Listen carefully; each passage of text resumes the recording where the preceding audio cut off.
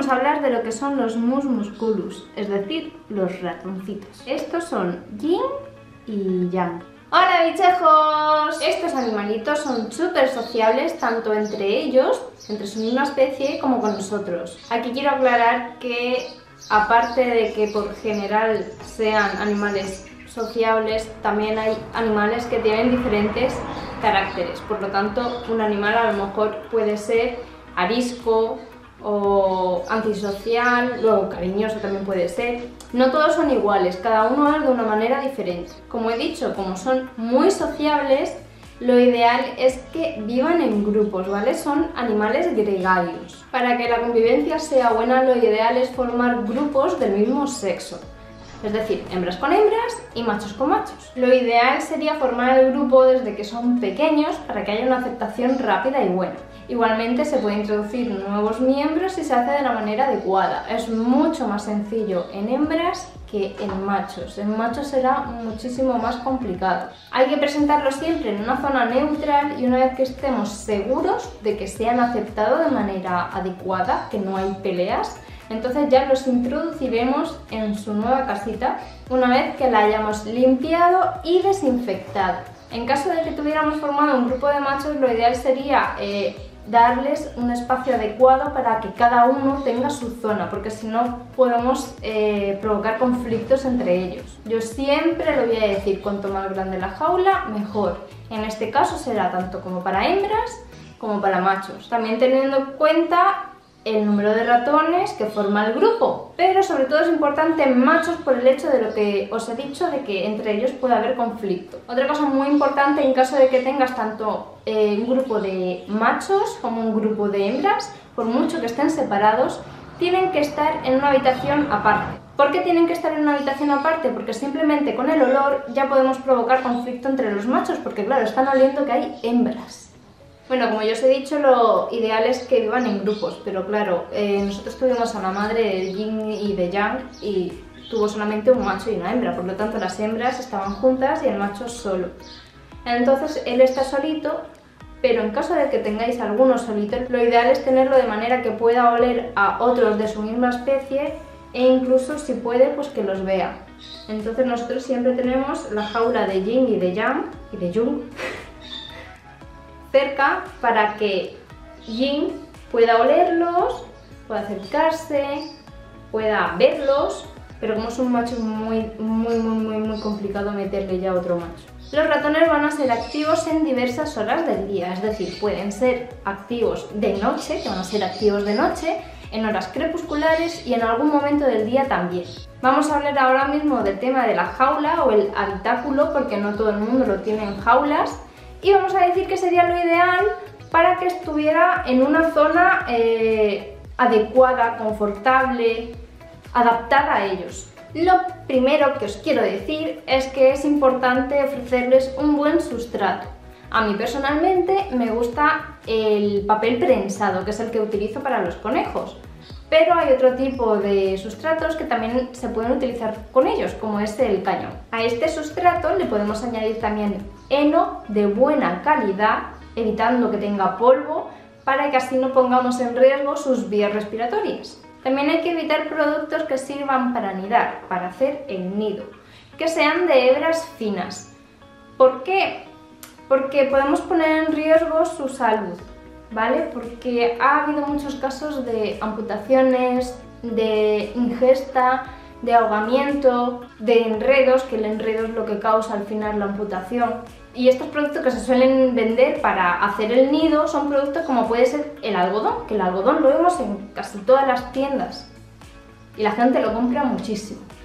Otra cosa muy importante también es aportarles escondites, No hace falta que sea uno, si son más, mejor todavía, porque ellos en la naturaleza siempre están buscando dónde esconderse. Entonces, cuantos más nidos le puedas meter, mejor, para que se sienta refugiado. Pasamos ya con el tema de la ventilación. Es imprescindible que tengan una buena ventilación. A mí personalmente no me gusta tener roedores en espacios cerrados, como puede ser un acuario o un terrario, por ejemplo, Entonces yo estoy a favor de que estén en jaulas, porque la ventilación entra de manera mucho más directa que si está en un acuario y tiene que entrar desde arriba. Se puede conseguir una mejor ventilación en acuarios o terrarios siempre que la ventilación sea frontal, o sea, podéis hacerle agujeritos o cualquier cosa de manera que entre el aire. También tenéis que tener en cuenta que cuanto más cerrado sea el habitáculo, más humedad se concentra y eso les puede provocar problemas de salud. Os quiero dejar aquí un ejemplo de lo que yo consideraría una jaula ideal. Bueno, no es una jaula ya que ella no lo tiene en jaula, lo tiene como en un espacio con cristal. Bueno, os dejo la imagen. y como veis el sustrato lo tiene con bastante profundidad para que puedan escarbar y puedan hacerse túneles. Tiene muchísimas casitas, escondites, tiene pisos y es súper grande y está súper bien hecha y lo ha hecho ella con ayuda, pero fue todo idea de ella. Lo único que le metería yo sería el tema de la ventilación, pero yo a ella se lo dije y me dijo que sí que lo va a hacer y todo eso. O sea que a mí me parece perfecto, me encanta. Así que quiero mandarle un besito y un saludo a Candela y a Lucía y muchas gracias por las imágenes. Dentro de la jaula o del habitáculo donde él esté debemos de proporcionarle un enriquecimiento ambiental.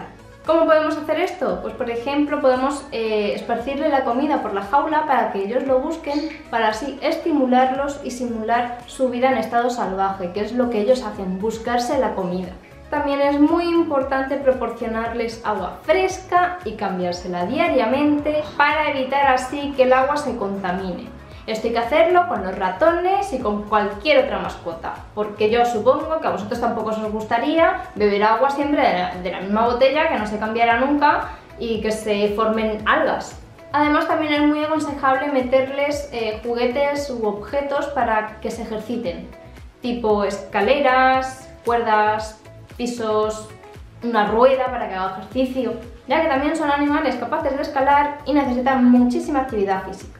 A mí también me gusta más el tema de las jaulas porque es muchísimo más sencillo al tener barrotes eh, proporcionarles más pisos y, y pues como lo tengo yo. Pues yo aquí les he montado sus cuerdecitas y van escalando por las cuerdas y claro, ahí también tienen maderas de pájaro y entonces pues eso, van escalando y tienen muchísimos niveles. Una cosa mala de las jaulas es que los ratones son muy escapistas y son capaces de meterse por zonas muy pequeñas. Entonces tienes que meterlo en una jaula en la que tú estés seguro de que no se pueda escapar entre los barrotes, ¿vale? En los huequecitos de aquí, que no entre, porque entonces es muy sencillo que se te escape y una vez que se te escape puede tener un accidente o cualquier cosa y la vida del animal pues está en riesgo.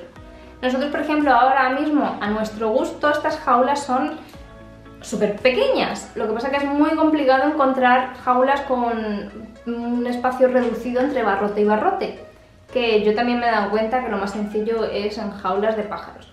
Entonces estamos en proceso de encontrar la adecuada y claro, ya montársela con sus pisitos y todo. A pesar de que os recomiendo que tenga una buena ventilación, eh, debéis evitar las corrientes de aire y debéis mantenerlo en una zona en la que tenga una buena temperatura, ya que por ejemplo son súper sensibles al calor. También hay que mantenerlos en una zona bastante tranquila, con poco ruido y lo más confortable para ellos. Aquí, por ejemplo, no se escucha nada. Y la jaula ideal yo diría incluso que fuera tanto horizontal como vertical. Lo más grande posible horizontal y lo más grande posible vertical. Terminado ya con el tema del habitáculo, vamos a pasar ahora mismo al tema de la alimentación, que es un poco más complicado. Es muy importante proporcionarles una alimentación balanceada y de calidad. Así podremos evitar problemas nutricionales. Es imprescindible que en la dieta del ratón exista magnesio, vitamina A y colina. La colina es un componente de la leticina de soja, también llamada como vitartrat. Abunda en el sistema nervioso y en la bilis y ayuda en el metabolismo del colesterol.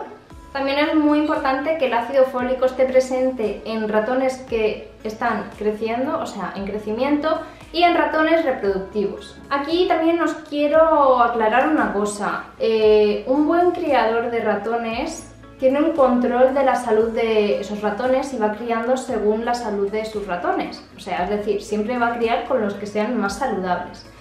Por lo tanto, es menos probable que estos ratones sufran de ciertos problemas.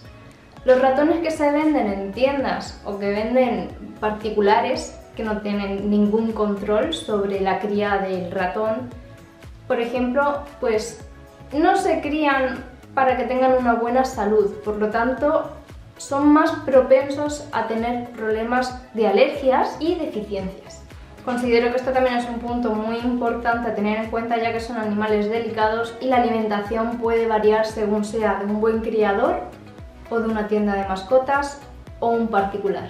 También he de decir que todavía falta aprender mucha información sobre la alimentación de los ratones y cómo aprovechan los nutrientes. Así que yo os voy a hablar de lo que se sabe actualmente. Existen muy pocos piensos de ratones adecuados para ellos. Entonces lo que se puede hacer es coger un pienso de calidad de hámster y proporcionárselo. Esto, por ejemplo, también ocurre con los hurones, que hay piensos específicos de hurones, pero esos piensos específicos de hurones no son buenos ni adecuados para ellos, por lo tanto se suele utilizar piensos de gato, de calidad. Es muy importante, chicos, evitar productos que provengan del maíz, es decir, el maíz en sí, maíz molido, harina de maíz, ya que como nunca me voy a cansar de decir, los productos del maíz se suelen utilizar sobre todo como relleno.